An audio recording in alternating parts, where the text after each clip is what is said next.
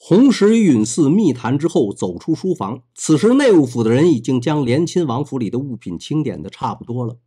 洪石见洪旺等几个弟弟仍旧涕泗滂沱的跪在冰冷的砖地上，便走过去温声说道：“弟弟们都起身吧，我们的公事说话就完，你们还该进去照看八叔才是。”待洪旺等几个人去了，涂立琛和马明启二人便迎了上来。涂立琛笑道：“三爷，清单立时就出来。”红石转向马明启问道：“大约总数值多少银子？恐怕这会子也清理不出细账。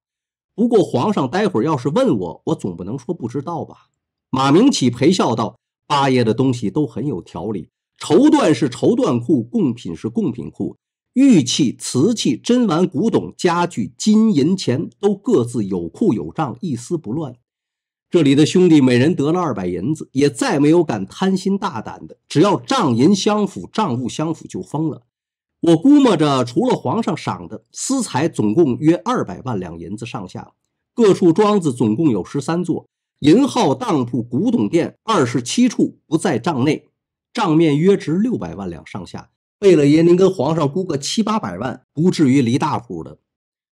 洪石知道允嗣在东北还有挖人参和金矿两处收项，却也没有挑明，只是笑着说：“当年抄十三书，总共才抄出了十几万两，就是兄弟一样的俸禄，会不会经营也是天差地别呀。”说着话，便由马明启和涂立琛带领着到各处库房查看了一番，便指挥着众人离了连亲王府。一整天惊涛骇浪般的喧嚣过去，到了晚上，连亲王府一下子沉寂了下来。八爷允嗣就像是做了一场噩梦，他呆呆地坐在堂屋，看着哭泣的家人们。一家子二十几口子人，儿子们跪着，八福晋坐着，其余的人都是满腹心思的侍立着。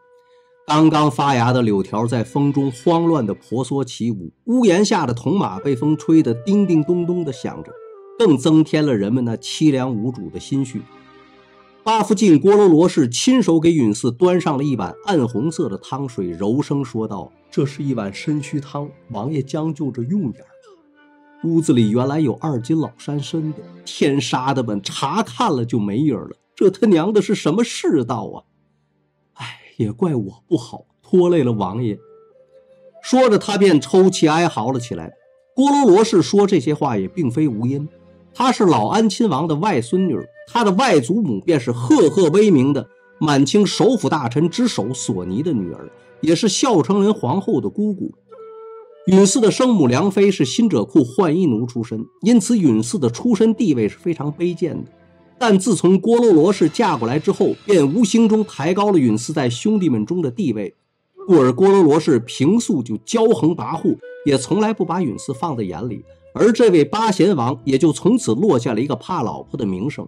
在太子胤禛第一次被废的时候，群臣举荐允嗣入东宫，康熙就曾经说过：“说允嗣受薄于妻，倘若未来主宰天下，恐有女主当国之祸。”从那个时候起，允嗣便再没翻过身来。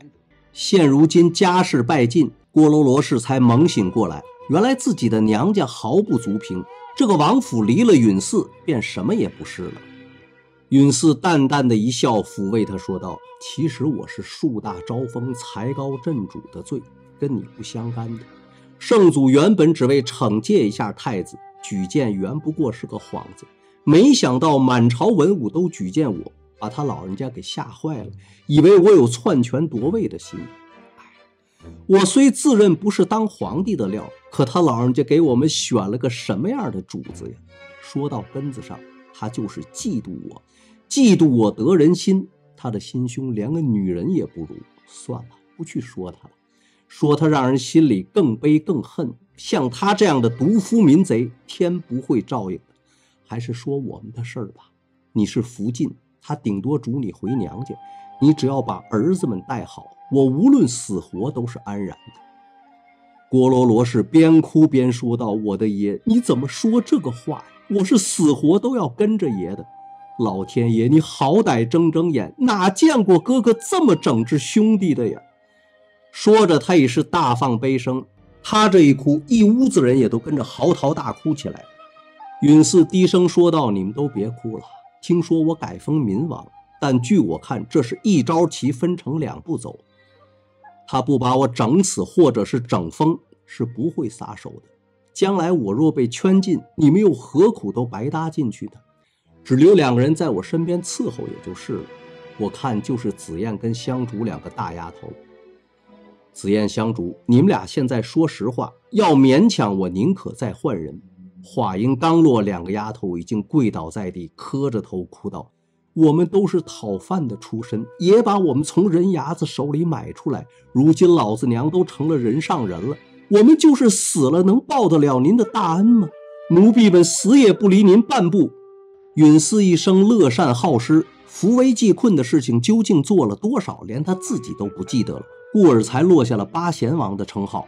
此时见两个大丫头知恩图报，允嗣顿觉心里一阵暖融融的。然后他对郭罗罗氏说：“我知道你还有几个提己钱，不过百十万吧。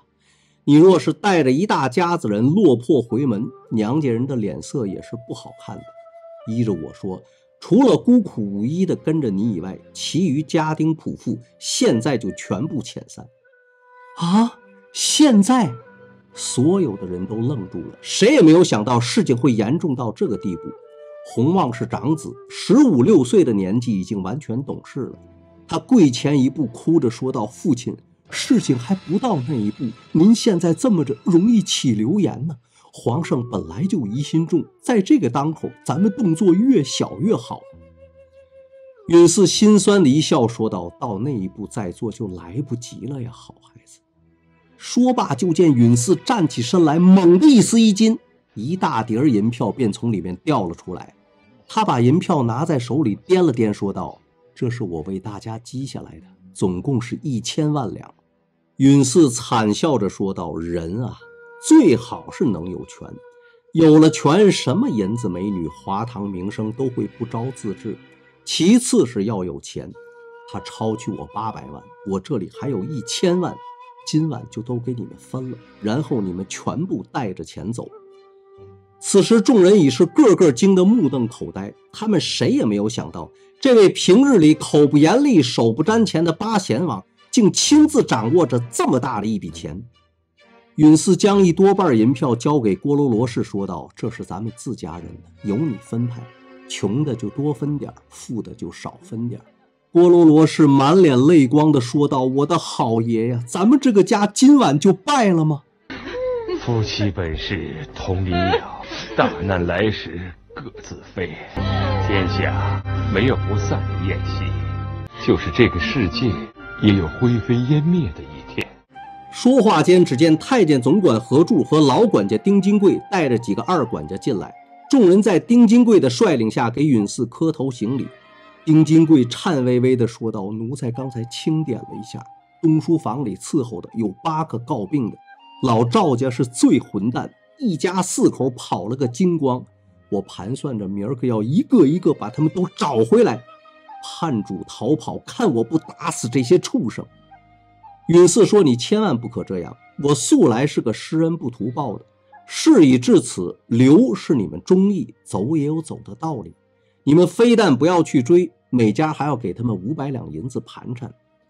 说罢，他接过香烛捧过来的茶，喝了一口，缓缓的将要遣散众人的话对大家说了：“这一半分给大家，单身奴每人两千，成了家的每人四千，我的家生奴才每人五千，你还有几位师爷，每人十万。”丁金贵连连磕头说道：“爷，您糊涂了吗？”您这是叫我们当不义之人吗？死活不过是一条命罢了。我老头子早看开了，我们不要钱，爷您走到哪一步，我们都跟着。就是去种庄稼，我们主仆难道还不能养活自己吗？好，我的糊涂主子呀！再莫说散了的话了。此时的允四也在尽着最大的努力，控制着眼中行将掉落的泪水，说道：“你们也饱读经史，不糊涂。我已经仔细想过了。”我若过得去这一劫，咱们见面再容易不过；我若过不去，就不如早早离散。待会儿分了银子，能走的今晚就走，白天一窝蜂似的出府也太扎眼。看着情势，雍正是想一步步的斩尽杀绝，你们留下来也不过是白陪进去罢了。最后，允祀泪眼模糊地望着何柱说道：“只是苦了你了，你名声太大，又净了身子，是个没处去的。我给你二十万银子，去投个靠得住的朋友吧。”说罢，允祀再也无法控制自己的情绪，眼泪像断了线的珠子一般滚落下来。何柱早先在玉庆宫废太子身边当总管太监，康熙四十七年便投靠了允祀。当年九位阿哥夺嫡争位的时候，他以连亲王府总管太监的身份往来于各王府，周旋于紫禁城，也是雍正眼中一颗不算小的钉子。他自己也深知，恐怕也是难逃厄运。然而此时的何柱却沉得住气，他强忍着悲愤说：“奴才压根儿也没想过什么出路。”银子我是不要的，平素爷赏的也够咱们度穷了。再说了，奴才陪着爷吃官司、蹲圈禁，您手里总得有点钱不是？允祀说：“照雍正的秉性，他断不会发善心，叫我留那么多的体面人在身边。你没见十四爷身边的乔引娣吗？银子你还是拿去，你有这片心，也就不枉我素日疼你。”你跟别的人不一样，身带残疾，在这府里当差，有时为了遮外人的眼，我还得拿你做法出气。你这一辈子苦啊，不容易啊！允四的话触动了何柱心中的隐痛，何柱终于像踩了鸭脖子似的，怪声怪气的嚎哭了起来。此时屋内所有人都像送葬一般的哭作一团，一时间男人声、女人声、老人声、孩子声。还夹杂着公鸭嗓，就像来自鬼府地狱般阴惨惨的，在这漆黑无月的王府上空飘荡着。又过了两天，军机处拟了旨意颁发下来，废除连亲王封号，允祀改封民王，而允堂跟允提则是只字不提。雍正又命十七阿哥义亲王允礼督办赛斯黑和十四爷两府的抄家事宜。云里今年才二十七岁，康熙的儿子们大多身材心长，唯独他个子矮小，加之常年在塞外练兵的缘故，人长得敦敦实实的，脸色是又黑又红，两条小腿也因为常年骑马而变得有点罗圈。云里来到畅春园觐见雍正，进屋之后，他先是规规矩矩地行了礼，然后便笑道：“臣弟还没吃饭呢，我想着先来回皇上，说不定能饶点御膳房的伙食垫垫饥呢。”此时，雍正也正在用着午膳，他今天的情绪似乎很好，用手指着案上的菜，对高无庸说道：“把这些个菜都撤过去，赏你十七爷。朕只用这一盘小豆沙馅包子就行。”高无庸连忙答应着，端着条盘把饭菜摆放在了云里面前的几上：一盘宫爆青椒野鸡，一盘芹菜豆芽，一盘烧三样，一盘酱蒸鹿口条，外加一海碗鸭骨汤和十几个饽饽，几乎都没有动过。云里笑道：“那臣弟今儿可就要放肆了。”说着，他夹起一大块鹿口条塞进嘴里，拿起饽饽一掰两半，鼓着腮帮子一顿大嚼。霎时间，风卷残云，吃个精光。雍正看着他，是笑着说道：“你吃饱了没有啊？没吃饱，朕再赏你。”我说：“老十七呀，亏你还是天皇贵胄，哪有这么个吃法？”云里满意的用手抹了一下油光光的嘴巴，笑道：“让皇上见笑了。”这是带兵带出来的。我跟古北口军中将领一个锅里搅勺子，吃起饭来那竟是一群饿狼啊！独我一个人细嚼慢咽的，叫人笑话我是个公子哥。慢慢的，我也就跟他们一样了。哎，其实十三哥就是那时在外练兵，弄坏了胃气，才落得一身病的。雍正不解的问道：“那你怎么就没有吃坏胃气呢？”云里说：“胃气这个东西啊。”底气壮，越吃越强；底气不壮，越吃越黄。个人的禀赋不一样。十三哥比我心思重，他吃亏就吃在这上头了。看着云里吃完饭，雍正对乔引娣吩咐道：“给你十七爷倒杯茶。老十七啊，我让你去阿奇娜跟赛斯黑的府里看看，他俩都有些什么话吗？”云里虽然刚刚回京不久，但已经知道乔引娣不是一般的工人。他欠身接过了茶，对着引娣点了点头，算是打了招呼。回奏雍正道：“呃，阿奇娜已经几天没吃饭了，是躺在床上听旨的。他只是笑了笑，一句话没说。赛斯黑接了旨，也谢了恩，神态很是倨傲，说：‘皇上是至尊圣人，还会说错了我？我如今万念俱灰。’请允我削发出家。如果罪大难赦，我自请明正典刑一张国法。若是幽居圈禁，像大哥那样疯疯傻傻的招人可怜，还不如死了的好。雍正听着，脸色已是沉了下来，随又问道：“他俩还有些什么话吗？你只管说。”云里继续说道：“呃，别的话倒是没有，只是据涂立琛讲，单平拿住了两个可疑之人，行李里头夹带着两封书信，呃，一封是梵文，一封是汉文，像是赛斯黑的笔记，我都带来了，请皇上过目。”说着，他从袖子里抽出了那两封信，双手递给了雍正。雍正先是看了看那封梵文的，觉得有点像钦天监档案里的英吉利文。他颠来倒去的看了半天，一个字儿也不认识。此时，雍正忽然想起了李卫看文书时那副抓耳挠腮的样子，心中感到有些好笑。再看那封汉文信，却是十分的简单。大意就是说，昔年楚霸王项羽气吞山河，力能刚鼎，百战百胜，最后还是败给了奸诈小人，此乃天意，非战之罪也。这一次我等政变失败，结局已无可挽回，但我们也不要像《霸王别姬》那样儿女情长，无非是抛头颅、洒热血而已。雍正看罢了信，皱着眉头问道：“送信的人招了没有？他们是哪儿的？”云里说：“两个人都招了，是赛斯黑写给允提的信。那封西洋字的信，据说是允，啊，是赛斯黑当初在西宁的时候，阿奇娜亲手造的。他跟赛斯黑还有允提三个人各持一本译码。臣弟又赶紧查阅了三府的抄单，里头却没有译码，因此一时也弄不清楚这封信里到底说了些什么。”雍正冷笑了一声，说道：“他们的心思一点也不难猜，无非就是求死嘛。”让朕杀了他们，好落得个暴君的名声。尹帝啊，就是你这旁人想想看，他们可还有半点做兄弟的情谊没有？乔隐帝听罢，低头默然无语。此时恰好张廷玉、朱氏、鄂尔泰跟方苞四个人被太监引着联袂进来，给雍正和允礼分别见了礼。雍正命众人坐了，吩咐引帝上茶，然后便将两封信交给大家传阅。朱氏是头一个看完的，他把信递给了张廷玉，然后在椅子上一欠身，说道：“皇上，事情是明摆着的，人人都晓得阿七大等人觊觎大位二十年如一日，锲而不舍。您就是再多一点证据，也增加不了什么。如今上书房每天都接到几十封的奏章，不是弹劾就是调陈，总不外乎铺陈他们的大罪，建议如何处置，云云。”但无论如何，这只是一桩案子，毕竟不是政务。朝廷的思路还是应该放在天下大事上。鄂尔泰也接口说道：“呃，臣也以为赛斯黑的案子不宜大张旗鼓，这其实就是老案子里的新枝节。他们摆个死猪不怕开水烫的阵势，无非是要把事情闹大，好乱中求是。那样一来，新政也就耽误了。”雍正帝听罢几个人的分析，冷笑了一声，说道：“朕也是这么认为的。我看这个案子就由允旨跟允禄承办，军机处就不必专门过问了。推行新政才是军机处眼下的第一要务。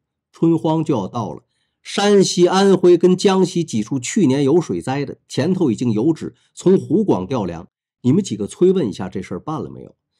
此外，菏泽县令奏上来一份折子，说他那里已经饿死人了。朕已传旨。”从施世伦那里调拨三万石去菏泽。雍正喝了一口茶，又好像猛然想起什么似的，说道：“山西雁门关跟定襄几处闹了雪灾，下廷寄给山西巡抚，叫他亲自去看看有没有断炊的，就地赈灾。今年免去山西通省的赋税钱粮。”几个大臣不解的相互看了一眼，心说：“这山西的雪灾并不大呀，只是压垮了几座民宅，犯得着这么特地关照吗？”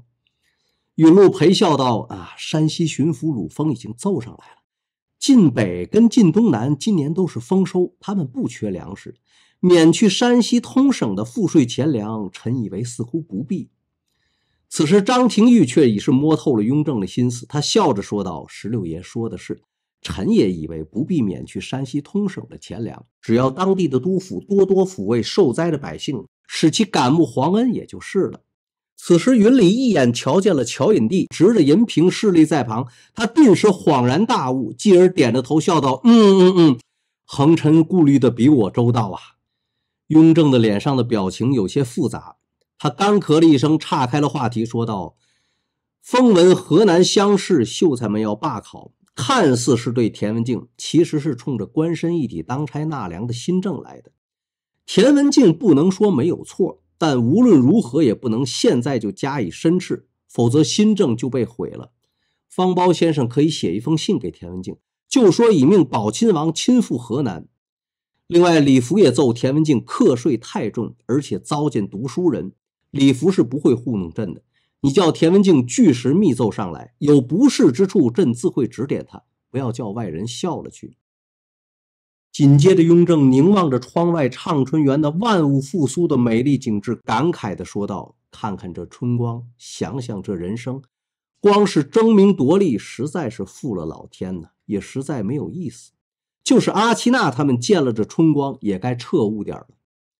我看允娥就在张家口圈禁，发允堂去保定，由李福看管起来。允嗣就留在北京，只要他们不再为非作歹，朕也懒得难为他们。今儿就议到这儿，你们跪安吧。弘历接到返京旨意时已是四月初三了。此时推行新政的诏谕已经天下皆知。南京城大街小巷都张贴着解释新政的布告，李卫不仅动员了各级官员以及乡绅和秀才们在各地宣讲，还把新政的内容改编成顺口溜、古词儿跟莲花落，不遗余力的大肆宣传。甚至就连秦淮河上的景儿接客，也是每刻发放一份传单。总督府衙门在南京最热闹的夫子庙专设了一个灯棚，各色的彩灯上也都写着与新政有关的灯谜。凡是猜中的，便发放一张彩票，凭着这张彩票回乡可支一生的粮食。总之啊，为了宣传这个新政，李卫是无所不用其极，绞尽脑汁就没有他不使的招。雍正得知甚喜，并且明令嘉奖。宝亲王弘历每天通过廷记、邸报跟密封匣子，对京师的情形了如指掌。什么八王议政事件了，将赛斯黑押送保定了，李福上折子弹劾田文镜了。还有罗布藏丹增病死，其残部以为策凌阿拉布坦收留的军情通报，以及各部官员的任免云云，弘历可谓无一不知。他原本还担心自己久在外省，万一有人在雍正跟前拨弄是非，如何处置？但是现在看来，不仅自己的担心是多余的，而且他还隐隐地意识到，弘时在京办差多有不合皇帝心意之处，因此现在的弘历心中已是完全释然了。这一天的晌午，四个长随打扮的汉子过了二门，就在红历屋外的天井里一字排开，齐声禀道：“四王爷，邢建业、邢建敏、邢建忠、邢建义陪主子练招了。”这邢家四兄弟原是山东人，祖传七辈的捕快世家。父亲年老退休后，便派四个儿子到李卫处走动，希望孩子们能够凭借一身的本领谋一个前程。李卫特调了他们做弘历的贴身保镖，并担当弘历的把式陪练。弘历见他们几个到了，随即脱去外身的袍褂，月白色长衫上只套了一件玫瑰紫巴图鲁坎肩又换了一双灯芯绒的皂靴，将袍角掩在腰带里，一手提了根齐眉棍，步出堂前。常言道：“七尺为枪，齐眉为棍，大枪一丈零八寸。”弘历提棍在手，拉了个门户，真是英姿飒爽，华彩少年啊！他笑着说道：“今儿恐怕是最后一次在这儿练把式了。我说话就要回北京了，明儿个起要分头接见南京的官员，就没空玩了。咱们今儿怎么个练法呀？”几个人说：“凭四爷吩咐。”弘历微笑道：“好，今儿换个花样，我练棍法，你们一个个上，谁能从我手里夺下这根棍，赏二十两银子。”弘历说着，便从靴叶子里抽出了一张银票，放在窗前的台阶上，用石头压住了。回过身来，支了个门户，单手抡棒，一招满天撒网，身子滴溜溜连打了十几个旋子，顿时满院生风。四兄弟见他如此潇洒利落的起手，不禁拍手叫好。只见弘历舞得兴起，齐眉棍犹如风车一般，还夹杂着拳脚，连天井边的花草都被棍风吹动。此时的四兄弟都已经看出来了，弘历的棍法虽然受过大内高手的指点，但却犯了公病。尽管是舞得密不透风，却只是个花架子，好看而已。只见老四邢建义一个欺身已经进了场，大叫一声：“四爷得罪了！”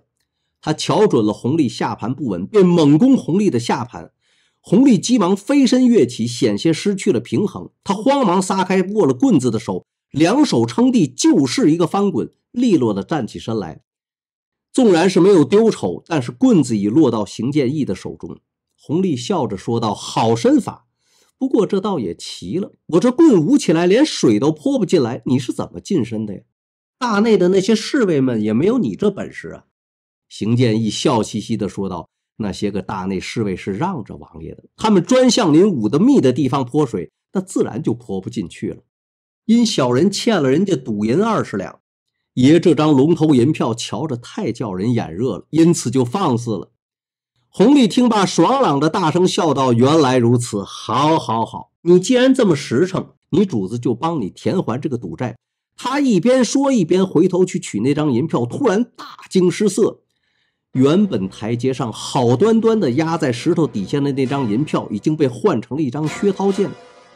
弘历脸上带着凝固的笑容，展开一看，上面写着一首诗：“今在秦政在公还，忍听旧歌吉林园。妙手空空锦相告，北去途中防貂蝉。”